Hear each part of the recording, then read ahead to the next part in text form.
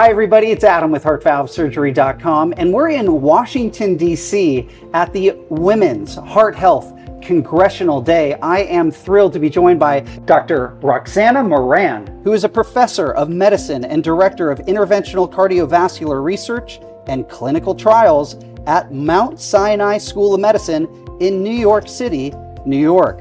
Dr. Mehran, thanks so much for being with me today. It's lovely to be here with you. Thank you, Adam. We're here in Washington, D.C. at this incredible event. For the patients out there, can you explain what are we doing here and what should they know about it? Well, I think it's historic. I mean, if you think about it, uh, I don't remember that we would have a whole day dedicated to women's heart health um, on the Hill. And here we are talking uh, to our representatives from around the country about the importance and the very, very crucial time point that we're in. We're at an inflection point of saving lives, saving women's lives. Dr. Mehran, what are the fundamental challenges for women with heart disease? Well, it's a huge challenge. Uh, women aren't believed. Uh, they come in with symptoms that are really serious and they're ignored. Heart disease is uh, the number one killer, yet awareness that heart disease is the number one killer has decreased over the last couple of decades. We're losing lives every few seconds. And we're starting to see, especially in young women, younger women, higher death rates. We have to put a stop to that. And I think this is why we're here. Yeah, and so let's talk about this a little further.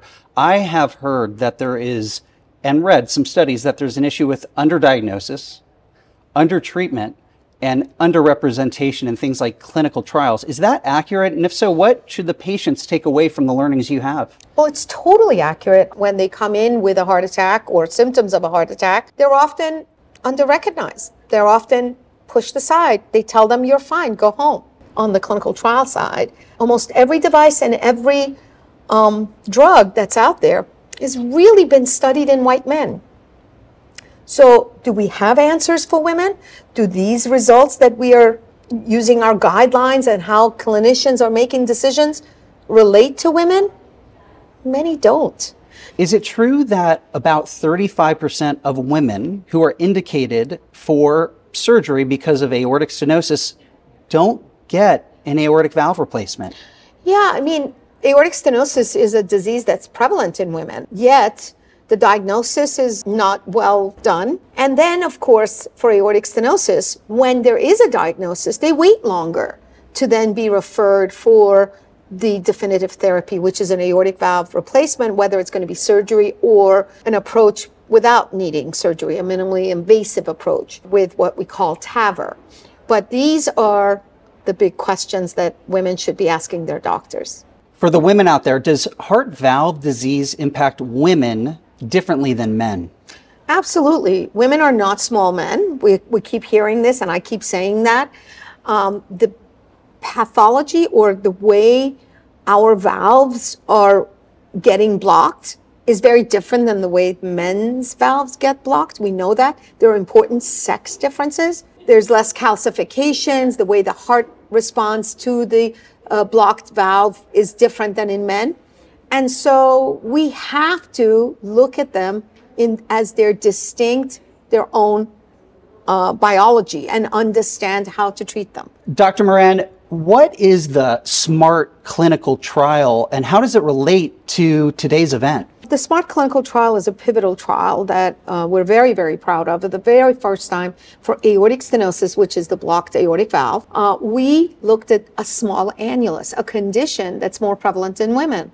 And as a result, for the first time ever, we enrolled almost 90% women, and we now have an answer for our women who have aortic stenosis with a small annulus, which valve they probably should get. What were the key findings of the SMART trial? We showed that the self-expanding valve, the Evolut valve, had very similar clinical outcomes with the balloon expandable sapien valve, but a very important differences in how patients felt.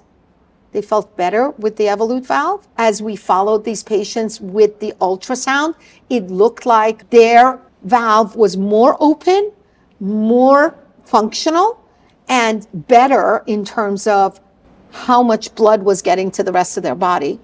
And in that way, it is a very important finding that I think over time is going to show an important difference in the clinical outcome. So that's what we're excited about. What can the patients in our community do to improve women's heart health?